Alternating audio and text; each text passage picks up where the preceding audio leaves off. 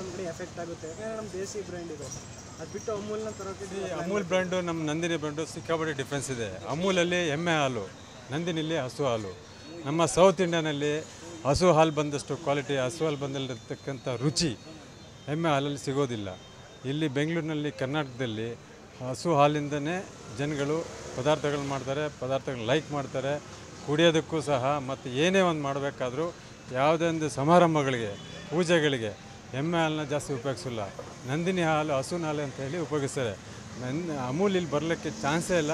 ಅಮೂಲ್ ಬಂದರೂ ಸಹ ಅದನ್ನು ಯೋಚನೆ ಮಾಡಿ ಅವರು ಬರಬೇಕು ಮಾರ್ಕೆಟ್ಗೆ ಅಷ್ಟೇ ಹೊರತು. ನಂದಿನಿ ನಾನಾ ವರ್ಷಗಳಿಂದ ನಾನಾ ಅಧಿಕಾರಿಗಳು ಅತ್ಯುತ್ತಮವಾಗಿ ಕೆಲಸ ಮಾಡಿ ನಂದಿನಿಯನ್ನು ನಲವತ್ತೈದು ವರ್ಷದಿಂದ ಮುಂದೆ ತೊಗೊಂಬಂದಿದ್ದಾರೆ. ಅದನ್ನು ಈಗ ಬಂದು ಅಮೂಲು ಓವರ್ಟೇಕ್ ಮಾಡ್ತೀವಿ ಅಂತಂದರೆ ಖಂಡಿತ ಆಗದಿರೋ ಪ್ರಶ್ನೆ ಇದು. ಒಂದು ವೇಳೆ ಜಾರಿಗೆ ತಂದರೆ ಏನು ಎಫೆಕ್ಟ್ ಯಾವುದೇ ಥರದ ಜಾರಿಗೆ ತಂದರೂ ಸಹ ನಂದಿನಿಗೂ ಮತ್ತು ಅಮೂಲ್ಗೂ ಸಿಕ್ಕಾಪಟ್ಟೆ ಡಿಫ್ರೆನ್ಸ್ ಇದೆ. ಹಾಲಲ್ಲೇ ಇಟ್ಕೊಳ್ಳಿ ನೀವು. ನಿಮ್ಮ ಒಂದು ಉದ್ದ, ನಿಮ್ಮ ಮನೇಲೇ ಇಟ್ಕೊಳ್ಳಿ. ಎಮ್ಮೆ ಹಾಲನ್ನ ಜನ ಲೈಕ್ ಮಾಡ್ತಿದ್ದೀರಾ? ಹಸು ಹಾಲು ಜನ ಲೈಕ್ ಮಾಡ್ತಿದ್ದಾರೆ. ಹಸು ಹಾಲಲ್ಲಿ ಬರ್ತಕ್ಕಂಥ ಟೇಸ್ಟ್ ಏನು?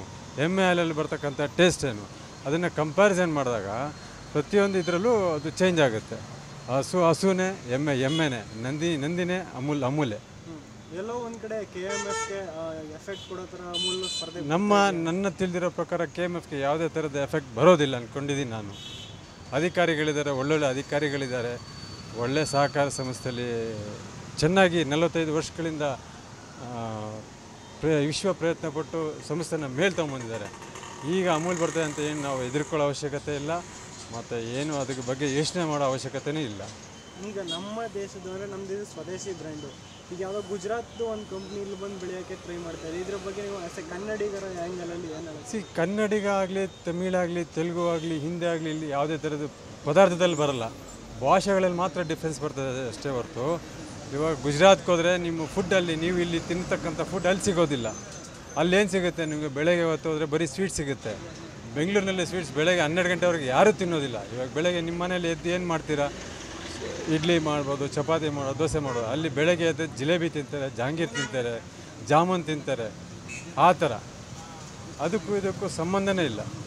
ಅಂದ್ಕೊಂಡು ನನ್ನ ಒಂದು ಇದ್ರ ಪ್ರಕಾರ ಯಾವುದೇ ಥರದ ತೊಂದರೆ ಬರೋದಿಲ್ಲ. ನಿಮ್ಮ ಹೆಸರು? ಮೋಹನ್ ಚಂದ್ ಅಂತ. ವಿಸ್ತಾರ ನ್ಯೂಸ್. ನಿಖರ ಜನಪರ.